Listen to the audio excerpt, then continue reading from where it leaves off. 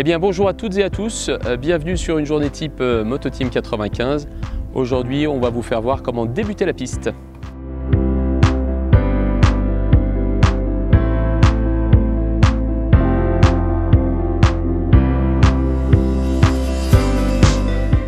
Eh bien au niveau équipement, vous devez être muni d'un casque intégral homologué. Ça c'est la première chose. Euh, vous devez également avoir une combinaison une ou deux pièces à votre convenance. Si c'est une deux pièces, elle doit forcément être reliée par un système efficace type fermeture éclair. À cela, vous pouvez ajouter, et c'est nécessaire, une dorsale ou un gilet airbag. Si vous optez pour un gilet airbag, il sera nécessaire de vérifier sa compatibilité avec votre combinaison.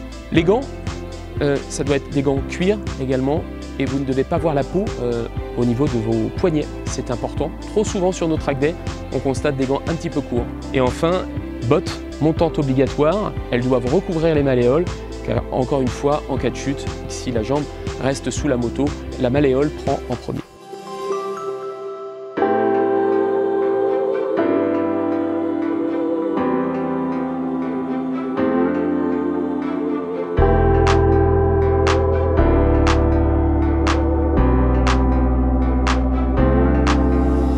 Bien choisir sa moto, bien souvent en fait c'est une question de budget. Hein. On va pas se mentir, quand on démarre la piste, on n'a pas forcément envie d'allouer un budget important. Il existe vraiment beaucoup de produits sur le marché. Alors forcément on va avoir une attache particulière pour les Yamaha. Vous trouvez euh, vraiment tout type de machine. On vous conseille 400, 600, même jusqu'à la 1000. Euh, aujourd'hui, si vous avez les moyens, vous pouvez débuter euh, avec une 1000 type R1 euh, ce qui n'était pas le cas il y a quelques années. L'électronique est tellement présente que vous êtes également en sécurité. Ce qui se disait par le passé, on devait commencer par une 400, 600 et monter progressivement. Aujourd'hui, ce n'est plus forcément un impératif et un indispensable. Donc vous pouvez démarrer en fonction de votre budget avec euh, une moto euh, plus ou moins facile. Alors les préparations indispensables, je vais dire qu'on a protégé le pilote, on a parlé de l'équipement tout à l'heure. Ce qui va être indispensable avant toute évolution sur la moto, c'est de protéger la moto des protections type GB pour protéger le moteur, des tampons de cadre, ça, ça va être indispensable, mais également euh, travailler un peu l'ergonomie de sa moto. Ouverture des demi-guidons, euh, les repose-pieds, c'est des choses assez importantes. Et souvent, on conseille de mettre un pignon euh, un peu plus petit, d'une dent en moins. Sorti de cela, c'est déjà une préparation de base. sur les R1, par exemple, on va ajouter une selle antidérapante pour avoir un meilleur contrôle et plus de sensations et plus de feeling lorsqu'on pilote. Mais sorti de ça, il n'y a pas forcément besoin de beaucoup de choses. Je vous parle de l'AR1 qui est quand même un produit très, sportif et destiné à la piste. Si vous êtes sur des motos un petit peu plus soft, euh, type R7, vous aurez peut-être nécessité de retravailler un petit peu le châssis, notamment au niveau des suspensions, pour avoir une moto euh, plus homogène et surtout euh, plus adaptée pour le, pour le circuit. Mais n'allez pas dépenser des millions d'argent sur des pièces onéreuses dans un premier temps. Le but quand on démarre la piste, protéger le pilote, protéger la moto, rouler, s'entraîner, se faire coacher. Alors, quand on débute la piste, euh, il y a beaucoup de choses à savoir effectivement. C'est difficile de répondre à cette question parce que ça fait l'objet d'une formation à part entière. Nous sommes derrière l'envers du décor, on a toutes les statistiques de chute, etc. Bien souvent, euh, ce sont des changements de comportement. Donc il est important sur chaque circuit de connaître les particularités du circuit et euh, de, les appliquer. L'entrée en piste par exemple à Dijon est très problématique puisqu'on arrive à un peu plus de 300, donc si on ne reste pas sur la droite, on peut créer un danger.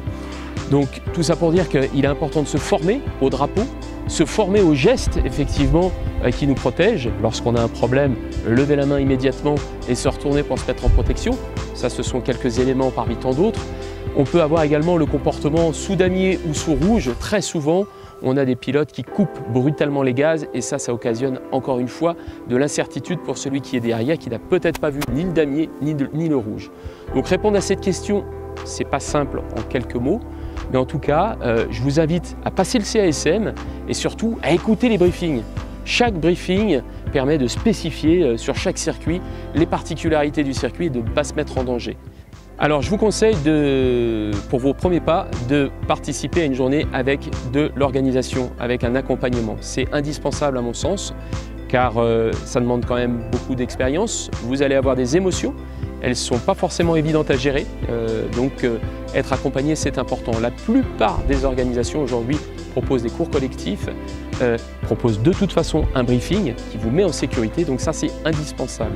Vous pouvez ajouter également au cours de cette journée des coachings si vous le souhaitez. Ça permet tout de suite, en fonction de votre niveau, de vous mettre en situation et de vous mettre également en situation de sécurité puisqu'on va détecter quelques problématiques. Souvent, bien souvent, c'est une mauvaise position sur la moto. Donc on va essayer de corriger de suite euh, cette position pour que ça ne soit pas une mauvaise habitude et que vous puissiez progresser en toute sécurité. Donc oui, roulez accompagné dans un premier temps. Ensuite, vous pourrez rouler seul si vous le souhaitez.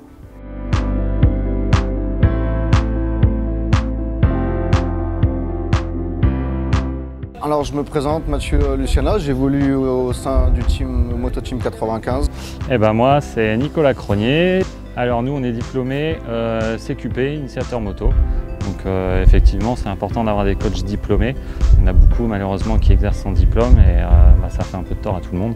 nous avons appris euh, à, voilà, à apprendre le sport motocyclisme bah, aux, gens en toute sécurité. Donc une journée en coaching, ça se passe comment? Il y a plusieurs formules.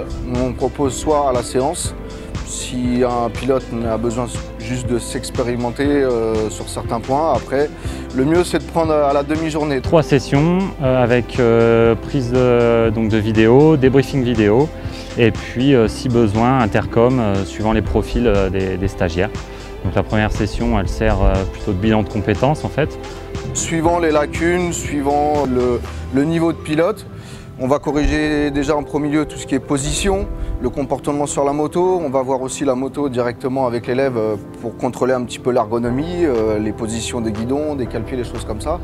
Parce que c'est quelque chose qui est quand même très important, la position sur la moto.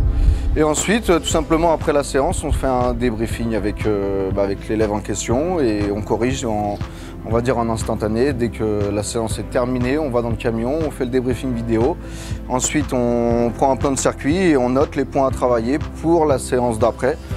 Et euh, on essaie d'appliquer au mieux pour pouvoir euh, bah, évoluer dans le bon sens pour euh, la personne qui a demandé un coaching. Et eh ben, ça permet de partir avec les bonnes bases, pas avoir les, des mauvais automatismes qui s'installent. Si tout le monde roulait parfaitement bien, on serait tous champions du monde, mais voilà, c'est pas le cas. Il y a toujours des points à travailler. Souvent quand on vient aussi de la route, bah, il faut tout reprendre depuis, depuis le début.